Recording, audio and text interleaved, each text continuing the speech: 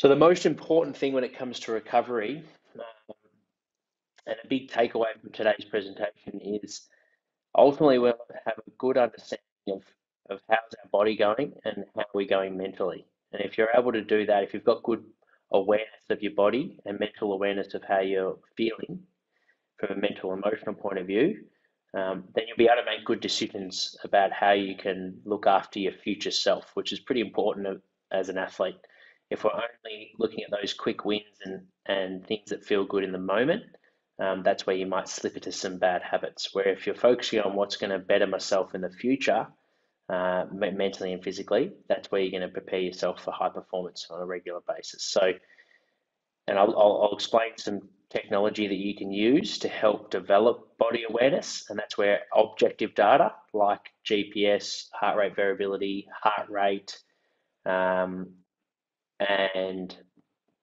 uh, what else would be good? And your sleep. These uh, tracking these things can be quite helpful to help you build your awareness.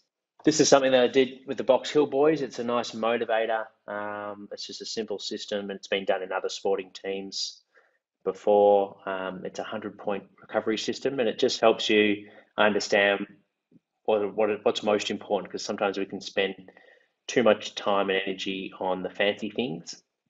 Maybe the things we've seen on TV shows or Instagram or social media.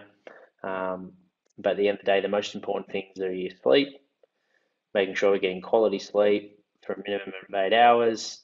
Um, we're getting plenty of calories from our food, so we're eating good food and we're getting, you know, at least three to four meals a day. And then from there, it really it's up to the athlete on where they want to get the rest of their points for their uh, 100 points. So it might be a massage, bang, they've got 50. Could be a nap, there's the other 50 done.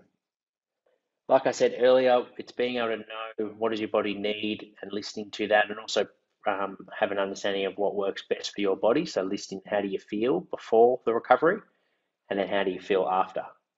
Um, so that would be a subjective way to measure how effective that recovery was. There's another thing, um, heart rate variability, which is basically every time we have a, a heartbeat, our beat hits a peak, then it comes back down and then hits another peak. And the time between those peak heartbeats is your heart rate variability. In terms of measuring tools, a smartwatch will also track your heart rate variability. And I have found, um, compared to, I've got the middle device that's called the Elite HRV.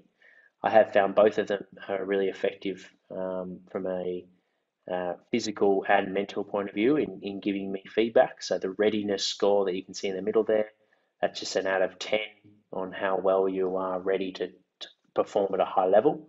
Um, and then you'll have one end of the scale sympathetic, and then you'll have parasympathetic. So sympathetic state is what, what we'll feel before a game day because we're highly alerted and aroused to perform.